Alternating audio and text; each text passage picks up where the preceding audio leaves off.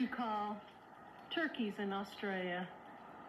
And you guys eat turkey and have turkey in Australia. Wouldn't you like to know that, Thomas? Wouldn't you like to know that? Huh? Huh? Here's my big boy.